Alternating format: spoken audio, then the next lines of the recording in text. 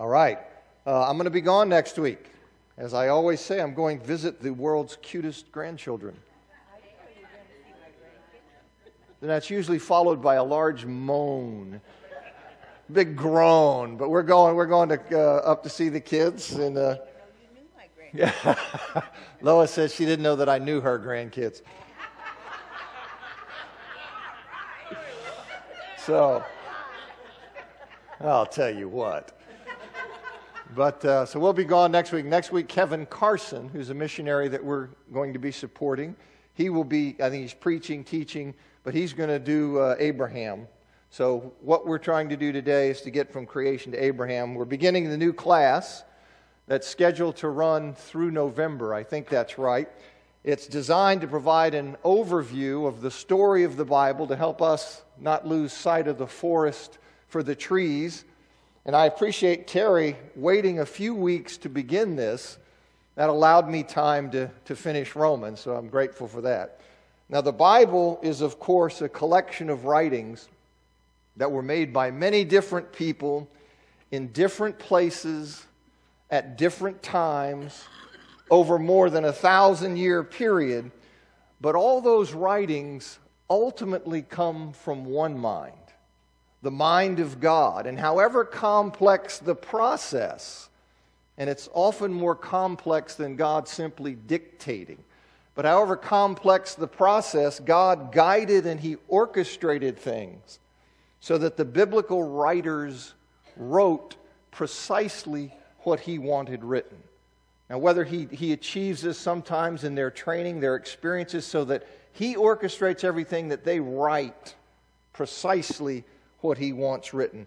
Now, for all of its subplots and all its twists and turns, the Bible tells one grand story, a story that is ongoing and of which we are a part. And we need to see ourselves within this great unfolding of God's work in this world. And I think that's really what is hoped for in our study of this is that we will put ourselves and see ourselves within the unfolding of God's work so that we have that perspective on things. Now, the classes are designed to be taught at a certain pace that keeps up with Terry's sermons. And as he said to me uh, weeks ago, said it's a rather aggressive schedule. Indeed, it is because this morning we're going to cover from creation to Abraham. And if you know how I roll, that's an awful lot of text for me to go over in, in uh, you know, 45 minutes. So I'm going to be talking quickly, but there's a lot I want to say about it, but I hope I can say enough that it'll be of some value to you. But you do need to buckle up because I'm going to move quickly. Okay, God is, of course, an eternal being. He has no beginning and no end. He has always been and will always be. And since God never began to exist, since He never went from not existing to existing, He requires no cause for existing. He requires nothing to have brought Him into existence. Unlike everything else, God is self existent. Now, this is important to understand because even apart from Scripture, there are excellent reasons for believing that the universe began to exist at some point in the past. That the universe went from not existing to existing. So the universe requires a cause for its existence. It requires an explanation for how it came to be. Now, what I want you to recognize is that the popular attempt to dodge having to identify the cause of the universe by saying, well, you can't identify the cause of God's existence. You see, you say, well, the universe, what caused it? What brought it into being? He said, Well, you can't tell me what caused God's existence, so therefore it's a wash, so I don't have to identify the cause of the universe's existence. But see, that's an apples and oranges kind of comparison. It's invalid because God never came into existence. The universe came into existence. God did not. You see, that's to, to say what caused God. That is to commit the category fallacy in that one is incorrectly assigning God to the category of things requiring a cause.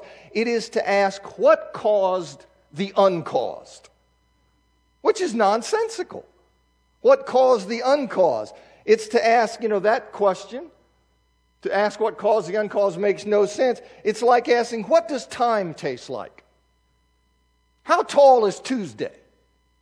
You see, they're the wrong categories. So, the first point I wanted you to see is that God is the uncaused cause. Okay, and that may come up in your life and you're dealing with people. Uh, I just say that to arm you for that little dodge about, well, you can't explain God's existence. Well, God is a brute fact. God always has been. The God of Christian theology never came into existence. So somebody who raises that uh, not really tuned into that. All right, now Scripture declares, am I on?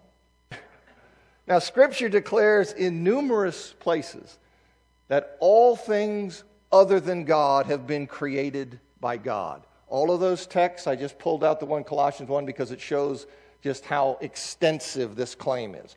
All things other than God have been called into existence by God. Through His Word, He called all these things into existence. That includes all spirit beings and everything else. And implicit in the fact that everything other than God was created by God is that He created, at least in the first instance, ex nihilo, meaning out of nothing. That He created, at least in the first instance, out of nothing. In Genesis chapter 1, verse 1, which states, In the beginning, God created the heavens and the earth, that phrase, the heavens and the earth, is almost certainly an expression known as a merism signifying the totality of creation. It's like our expression, he looked high and low. We don't mean by that that he looked in two places, he looked high and then he looked low. We mean he looked everywhere. And that's the significance that you have here. In the beginning, God created the heavens and the earth, means that he created absolutely everything. The point is that during the six days of God's creative work, see, which is the beginning of the universe and of all existence other than God. The beginning is a six day bar, not a point. You see, in the beginning, God created absolutely everything. During the six days of his creative work, which is the beginning of the universe and of all existence other than God, God created absolutely everything. And since he created absolutely everything during those six days, he necessarily created from nothing. Because if there was already something in existence from which to create, then he wouldn't have created absolutely everything in the beginning. So, do you see that it, the implication of the fact God created absolutely everything other than God is that he initially created out of nothing? And you see the Hebrew writer, and I think the Hebrew writer is probably making that inference explicit in Hebrews chapter 11, verse 3, when he says, By faith, we understand the universe to have been created by the Word of God, so that what is seen did not come into being from visible things. So God creates absolutely everything. Everything that is not God, He calls into existence. He calls it into existence in the beginning during that six day bar, which is the beginning of all existence other than God.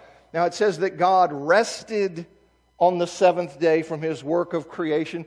That means he ceased from his creation work. It doesn't mean he rested as though he was tired. You see, we sometimes really go, oh, well, God needed a nap. The creation wore him out. That's not what it means. When it says he rested, it means he ceased from his creation work. And in Genesis chapter 2, verse 2, it doesn't mean that the work of creation continued into the seventh day. Genesis chapter 2, verse 1, it specifies that the work was finished on the sixth day. And so, chapter 2, verse 2, the first clause, the first half of chapter 2, verse 2, is better translated, as it is in the NIV here that I've quoted, by the seventh day, God finished or had finished the work he'd been doing. That's how it's translated in the New American Standard, the New English Translation, Christian Standard, New Jerusalem, TNIV, NIV. But you get other translations that go the other way. I say this is the way to translate it. This is the better way to understand it because God rested. He completed his work of creation in six days. He ceased from that on the seventh day.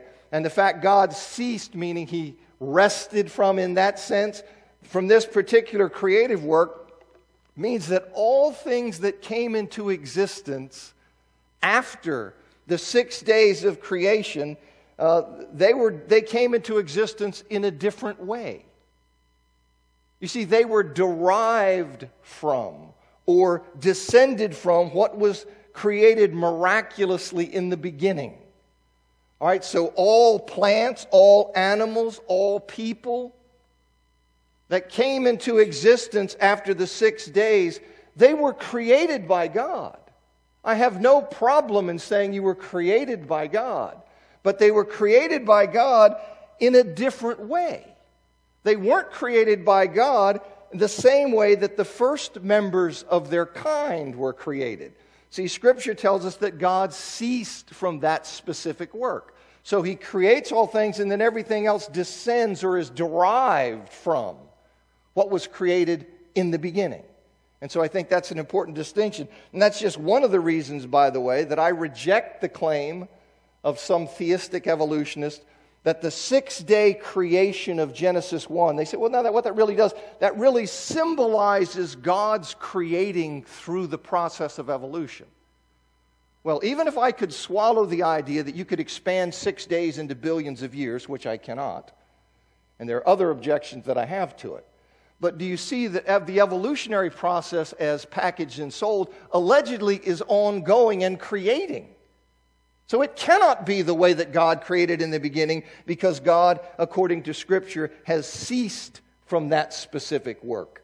He rested from that work. So he creates miraculously during the six days here, and all other things descend and are derived from that. He ceased from that work not that he ceased from working miraculously, but he ceased from the creative work.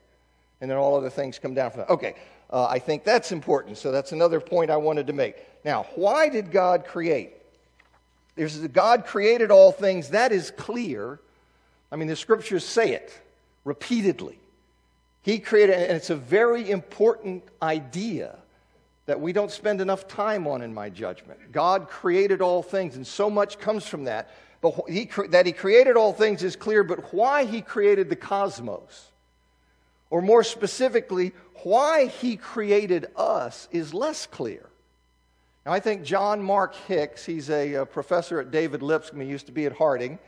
He offered, in my judgment, some real insight into this in his book called Yet Will I Trust Him. And uh, I'm sure it's not original with him, but that's where I first ran across the idea you see, he, he first points out that God did not create to fulfill some need or to satisfy some inner desire. He didn't create to supply something that was lacking in his own life as though he were in some way incomplete. That's not why God created. We do not exist because God needs us in any way. Rather, the reason that God created Creation is his loving nature on display. Let me read you a quote from Hicks' uh, several pages of his book. It's, I think, four slides, goes pretty quickly, but I just like this idea and I want you just to chew on it. He says, The doctrine of the Trinity teaches that the divine reality is a community of loving fellowship between the Father, Son, and Spirit. It is a community of holy love which existed before the cosmos did. God did not create because he needed fellowship, since he already enjoyed fellowship through the triune communion of the Father, Son, and Spirit. This fellowship was not created by an act of God, as though at some point in time God became a fellowship. Rather, it is who God is. God is agape, love, 1 John 4 8. Consequently, God did not need to turn to anything outside of himself in order to experience loving community. This was present through the mutual indwelling of God's triune fellowship. I think the best analogy for understanding this divine act of creation, as limited as the analogy is, and he's aware it's limited, is the decision of a couple to have children. Why do couples decide to have children? Certainly, in a fallen world, there are less than pure motives. But in the purest sense, couples decide to have children in order to share their love with another. The decision to have a child is, in the best of circumstances, a selfless decision. They share something they could have kept to themselves. The love which exists between a, a husband and wife is a communion unsurpassed in human relations. When children are born into that loving communion, children share something they did not create. The parents give something they were not compelled to share. Following this analogy, the triune community decided to create, they decided to share with another something they already enjoyed. We humans did not create that fellowship, but it is offered to us in love. God did not create in order to receive as if he needed anything outside of himself. He created to give of himself. Thus, the act of creation is an act of gracious, selfless love. You see, I like that. I think that's, I think that's hitting right around something important. You see, and that's the idea of God sharing. Now, Scripture reports the goodness of God's original creation at a number of stages. In Genesis chapter 1, in verses 4, 10, 12, 18, 21, 25, it reports the goodness. And then God says of the completed creation, in Genesis chapter 1, verse 31, he says, It is very good. So you have this idea of the goodness of God's original creation being reported many times. It was an idyllic and blessed existence in which all things were functioning as God intended, as God desired. There was no death. And Adam and Eve, the first humans, they were in harmony with God, with each other, and with creation. So it was this idyllic, blessed existence where Adam and Eve are in this harmony all around. Just a relationship that's running and smooth, and it's the way it should be that there's this communion and this harmony with God and each other and with creation itself. Humans were created uniquely in the image of God. This is something that's lost in our society often. They, they lose the notion that we are created uniquely in the image of God and we were given a place of special importance within the purposes of God, including the authority to rule the earth. But soon, soon, Adam and Eve, who were to be God's representatives on earth, soon they rejected his rule by disobeying him. They ate the forbidden fruit from the tree of the knowledge of good and evil, thereby knowing evil experientially. They ate the forbidden fruit from the knowledge of, of good and of the tree of good and evil, knowing evil thereby experientially, and in doing so, they corrupted or spoiled God's very good creation. Now, the serpent that tempted Eve to disobey God was being used for that purpose by an evil spirit being, Satan who in Revelation chapter 12, verse 9, Revelation chapter 20, verse 2, is referred to as that ancient serpent. So the serpent is being animated and being used by this evil spirit being. And that means that prior to Adam and Eve sinning, some spirit beings had already rebelled against God. Now we know that the spirit beings were created in the beginning because during the creation week, because everything other than God was created in the beginning during the creation week. And we, we know that. So they were created there, and we know that they were created good. They originally were created good because the original creation, when God is finished, He pronounces it very good. So they were created, and they were created initially good. But obviously something happened. So the inference is that at some point, After creation and before tempting Eve in the garden, Satan, and in fact some other spirit beings, they turned against God. But the focus, what you have to see is that the focus of the narrative is the introduction of sin into the human stream, into the physical world we inhabit. The inspired writer, he just passes on the story. You see, the story of fallen angels, of Satan and other demons, it's revealed only by inference. It's not called out or talked about at all. You simply have to say, okay, he created everything, he created everything good. Here, everything's not good, so something happened. He doesn't spell any of that out. You see, that's only, that's only there by, by inference, you see. It receives no attention from the inspired writer. The focus is on the introduction of sin into the human stream. And as a result of their sin, Adam and Eve were immediately, they were immediately alienated from God, who's the source of all life, which is reflected in their attempt to hide from Him. You see, they had great, perfect communion. Now, God we got to hide. That's alienation. You see, so that's reflected in that. They were alienated from each other, as, as suggested by the sense of shame that drove them to seek bodily covering. They were alienated from creation as a result of God's cursing the ground so that it would now be in rebellion to mankind as mankind was in rebellion to God. God has given us perfect place, everything's functioning, mankind rebels. And God then curses the ground, so he says, You're going to have to struggle with it. It's now going to not be cooperating with you as you didn't cooperate with me. And so God curses the ground so that it now is in rebellion to mankind. And as the Spirit makes clear much later, in Romans chapter 8, verses 19 to 23, the effect of this fall was cosmic in scope. It was cosmic in scope. All creation was subjected to futility. All of creation was subjected to the bondage of corruption. This is something huge that has happened. And mankind at that point became unconditionally mortal. Mankind, God would no longer sustain their physical lives in perpetuity as he would have done if they had not sinned. Physical death became the lot of all mankind. See, we, like Adam, all return to the dust, unless, except for those who will be here when the Lord returns. But everyone then, everyone returns to the dust.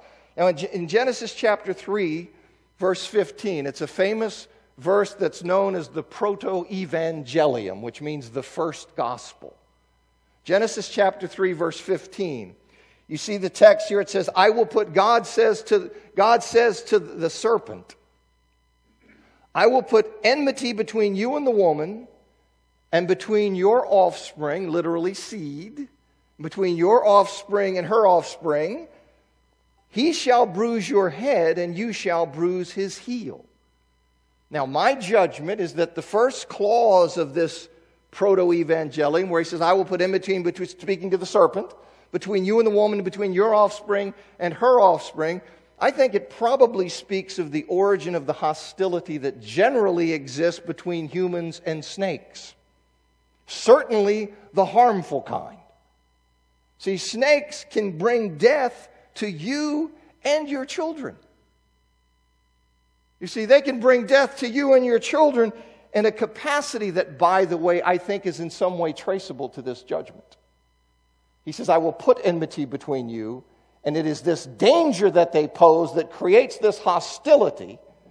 But I think that's what's being referred to. So, most people in the world, they have little tolerance for them. In fact, there was a 2008 study published in a in a science journal where the estimates, the current estimates of the number of people killed worldwide by venomous snakes is between 20,000 and 94,000 a year. Now that surprises some people. But this is something that I think he's, he's referring to here. And what I see going on here is this struggle or conflict between humans and snakes. It's something with which the ancient Israelites were well familiar, by the way. As you see in Ecclesiastes chapter 10, verse 8, Amos chapter 5, verse 29, Acts 28, remember the viper that jumps on Paul? So this wasn't something, you know, you and I, I don't, I don't see snakes running around. But the rest of the world, these things are there and they're part of their lives. But see, I think that the function of this is that it's a tangible reminder. It is a living lesson of the conflict between humans and creation that was introduced into the world by the first human's rebellion against God. God teaches lessons in, in the world. And I think that's one of the lessons is that this conflict, it's a reminder that you see how uncooperative and how there's this hostility and this struggle that you now face with creation. Remember why that was. That is because of the first human's rebellion. Well, the second clause, you see, that's the first clause, and I'll say something. I know there are other ways of looking at that first clause. I'll say something about that in a second. But the second clause, he says, He shall bruise your head and you shall bruise his heel. Now, I think that probably alludes to a deeper spiritual conflict that's symbolized in the hostility between humans and snakes that reflects the rebellion of creation against men, against mankind. But I think there's a deeper truth there. And that hostility symbolizes, you see, it speaks of, you have this spiritual conflict that is symbolized in that enmity between humans and snakes. It speaks, this second clause speaks of one man, he, singular. Now, I understand that he, singular, can refer to the collective singular seed. I know that. I don't think that's what it's referring to. I think it's really a he, singular, a man who will descend from the woman. So he says that, that he, he speaks of that second clause, he singular, a descendant of Eve, he shall bruise the head of the serpent. Your singular, not the serpent's offspring. So we now have a conflict between he, a male descendant of the woman, and we have the serpent, who is the stand in, the proxy for Satan. Why? Because Satan is the being that animated him in the garden. So here you have at the very beginning, you have this hint. You have this hint that there is going to be victory over Satan, and the difference between head and heel shows that he's going to be defeated. Satan is going to be defeated by a man, you see? And Jesus, of course, is the God man. And so I think that that's there. Now, I'm aware that many understand the serpent's offspring in the first clause to be a reference to humans who take after Satan's character. So they are sons or descendants of Satan in that figurative sense. And the hostility in that case is between the people of God, referred here to called the offspring of the woman, and those who are not in a relationship with God. So I'm familiar with that idea. I just prefer the one that I gave you. Okay? So, but, but one of the things is you see that, that either way, we're in agreement that the allusion to the Lord's victory over Satan is what the second clause is about. You see, that's what I want you to see. I think that even at the beginning here, we have this statement, by the way, that looks out to the rest of Scripture, the rest of history. And here we have, and that's in fact why it's called the Proto Evangelium. All right, in Genesis chapter, so that we're th- three. We have this perfect ideal existence. We have sin is introduced into it. And then in Genesis chapter 4, chapter 4 through chapter 11, we see the alienation caused by sin becoming an incubator for greater sin. It becomes this incubator for greater sin. See, sin intensifies and it spreads like a plague. And so in Genesis chapter 4, Cain murders his brother Abel. We now have bloodshed. He murders his brother Abel and Lamech after bragging about having killed a young man for striking him. You see, it's like Donald Trump. You mess with me, I mess back in spades. He struck me and I killed him. And he's bragging about it. And then he claims a right. He claims a right of unlimited retribution and violence. If Cain's revenge is sevenfold, then Lamech's is 77fold. Do you see what's happening? Do you see the corruption? Do you see what is going on in God's creation? Well, we get Noah is introduced. Noah is introduced in, in the genealogy in chapter 5. So he's introduced there as a descendant of Adam through Seth. And then in chapter 6, we see that the sin that Adam let loose on the world. See, he's ground zero. The sin that Adam let loose on the world, you see that the world has now been thoroughly corrupted. That sin has thoroughly corrupted God's very good creation. Look in Genesis chapter 6, 5 and 6. The Lord saw that the wickedness of man was great in the earth, and that every intention of the thoughts of his heart was only evil continually. And the Lord regretted that he'd made man on the earth, and it grieved him to his heart. You talk about something that's changed. Something that's happened from this wonderful, beautiful, harmonious, loving fellowship to now look what it's become. He says in chapter 6, verse 11 and 2, the scripture says, Now the earth was corrupt in God's sight, and the earth was filled with violence, and God saw the earth, and behold, it was corrupt, for all flesh had corrupted their way on the earth.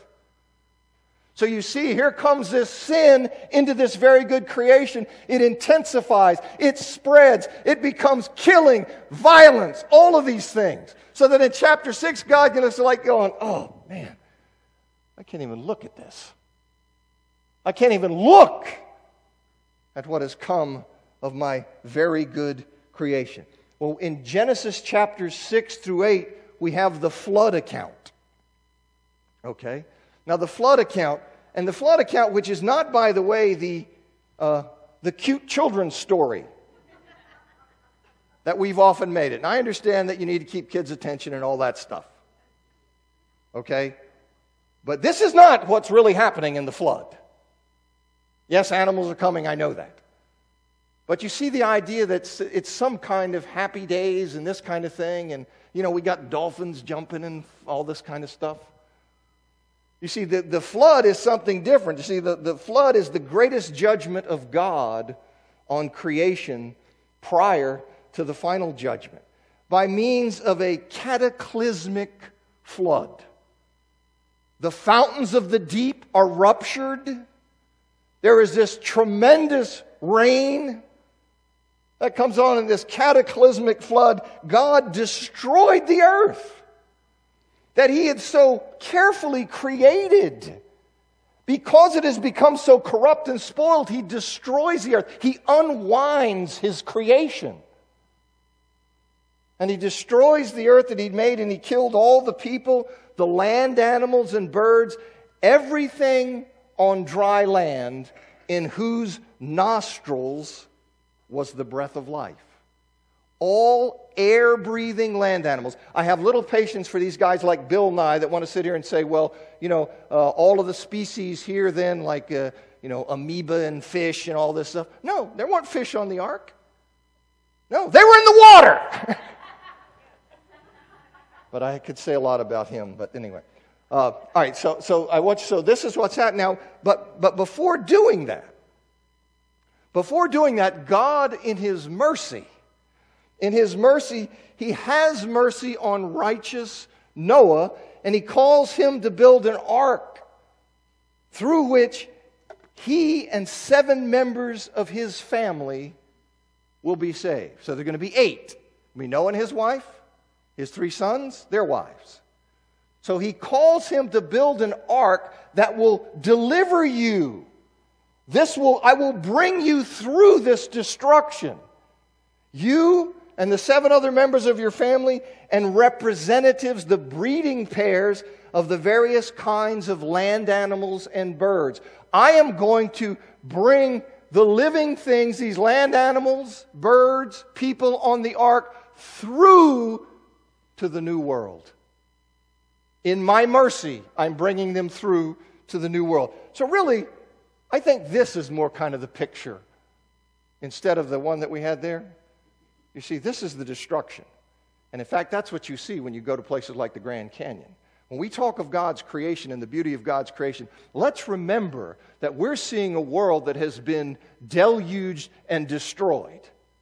And that's what you're seeing there. Beautiful, yeah. But it's, it's, the, it's the result of that tremendous judgment on sin in this world.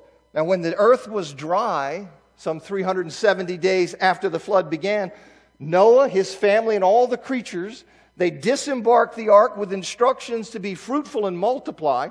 And in chapter 9, verse 1, God tells Noah and his sons, Be fruitful and multiply and fill the earth, which is exactly what he had said to Adam and Eve in Genesis chapter 1, verse 28. Be fruitful and multiply and fill the earth. Genesis chapter 8, verse 20. Noah builds an altar and he offers a sacrifice to God, which scripture says it pleased God. And as a result, God said in his heart, God said in his heart that even though, taking the, uh, the, the word here as a concessive, that even though man is inclined toward evil from his youth, knowing that, even though that's the case, God says here that, that he will he decides, says in his heart, that he will never destroy the earth and kill all the living creatures as he did in the flood. And then in chapter 9, he gives formal expression to that intention of his heart by entering into a covenant with Noah and, and, and the folks there, Noah and his sons, but with all the creatures. All of the creatures that came out of the ark, that he will never again destroy the whole earth with a flood. He won't do it. Well, what do we see right after the covenant text. Genesis chapter 9, verse 8 through 17 is the covenant text. It's followed immediately by a report of sin. Noah is drunk, and Ham sees his father's nakedness. Now, whatever that is, it may in fact be a homosexual assault. But whatever that is, it's clearly something that is sinful because Noah cursed Ham's son Canaan as a result. So, what do we have after this covenant? We have God creating new. He says, I see that the, that the, you know, the, the direction of your heart, what it is, but I'm still going to pledge to you that I will not destroy the world again as I had done in this flood. And right after that, drunkenness, we have some kind of uh, the seeing his father's nakedness. And then in chapter 10, it reports the nations that descended from Noah. And then in chapter 11, we have an account of large scale human rebellion in the story of the Tower of Babel. They were just, that God had told them, you know, go all over the earth. And what did they do? They choose to congregate in the land of Shinar because they want to build a name for themselves. They congregate in the land of Shinar, determined they're going to make a name for themselves, determined to seek, great, seek greatness through their own accomplishment. Yeah, yeah, yeah, I don't care what God wants. We're going to go and we're going to organize and get together and we're going to create a utopia through our own strength and power and disobedience to God. Hmm. God says, No, you're not. He scatters them. Okay? And he divides up their language and he disperses them over the face of all the earth. So when we get to, when we get to the, the end of chapter 11, we have this fundamental question of sin that remains. Sin and its corrupting effect on God's very good creation, that question remains unresolved. You see, you're, you're, you're saying, okay, well, what's, what's going to go on? I see what's happened. I see that the creation has been corrupted and spoiled. I see that sin has run amok in doing all of this. say, okay, What's God going to do about it? What is He going to do about it? You see, the creation is not the way it's supposed to be. It is not the way it is supposed to be. It is no longer a paradise in which all things work together in peace and in harmony under God's rule. It's not that way. Instead, it's infected with things like anger, division, hatred, violence, destruction, disease, death, decay, lying, stealing, suffering, sorrow, pain. It is the world we live in. It is a fallen world. You see, and that has come about through the introduction of sin that corrupted the very good creation. So, what's he going to do? You see, what is he going to do?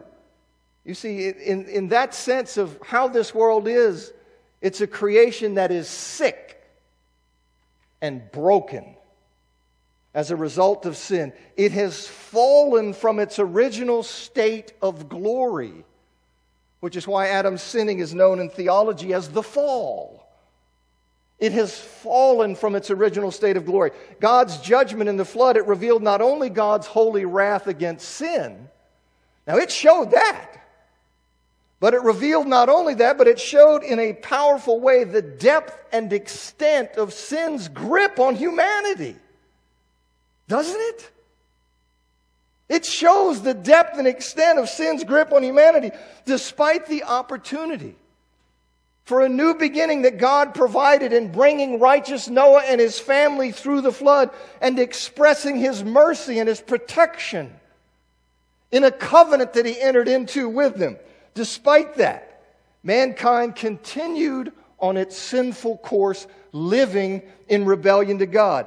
Now, certainly some kind of extraordinary work is going to be necessary. You see, he's revealed to us. Do you see how deep it is?